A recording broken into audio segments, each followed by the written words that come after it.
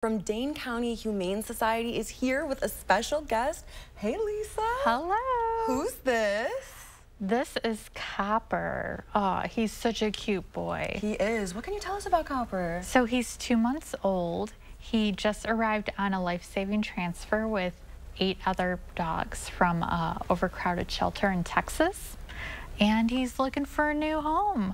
Uh, he is a little shy, but he's mm-hmm. really been opening up because, you know, treats make things a lot better. So they definitely do. Little positive encouragement here. What kind of dog is he? They think he might be a Labrador Retriever mix. Okay. So he's super, super sweet. He, he when he gets comfortable, he was play bowing me, telling me he wanted to play. Okay. He loves playing with his different toys. So what kind of home do you think he's looking for? I think any home that wants to work with a puppy, because puppies, they are a lot of work. Mm -hmm. um, so you have to have time to do some training, like the potty training and um, teaching good puppy manners, like if you don't want him jumping all over you and mm -hmm. so forth.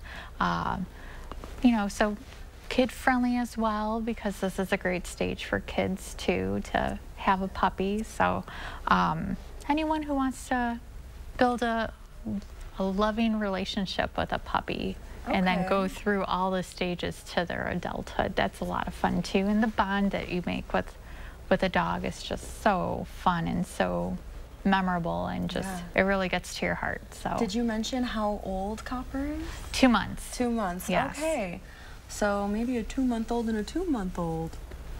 That'd be fun together. to grow together, yeah. Oh, um, are you a little He's tired? tired. Is it nap time? So he did have uh, breakfast not that long ago. So as you can see, he probably has a very full belly. so but he's so cute, and he's going to be such a good snuggler, too, I think. I think so, too. And look at those paws. It looks like he'll grow a little bit, too. Yeah, he'll probably grow into a decent size, maybe around 40, 50 pounds, maybe even upwards, depending on the amount of exercise you give. So, uh, you know, starting out with some of those fun adventures at a young age to get them used to it, too, is always a good thing, too, like car rides. Mm -hmm. And mm-hmm. he did really great in the car. So uh, he he slept. But Perfect. then he had a full belly. Yeah. So. All right. Well, thank you so much for bringing him in. Looking to part with your gently used or new clothing, furniture, decor, kitchen supplies, and more? Donate it to Dane County Humane Society thrift stores. New East Side location at 5231 High Crossing Boulevard in Madison. Now, the store is much larger than the West Side location and needs items to fill it, particularly clothes for all ages, shoes, toys, and pet supplies. Donations can be dropped off Sunday and Monday from 11 a.m. to 5 p.m. and Tuesday through Saturday between 11 and 7. Just pull up behind the building to the doors with a donation sign on it and ring the doorbell.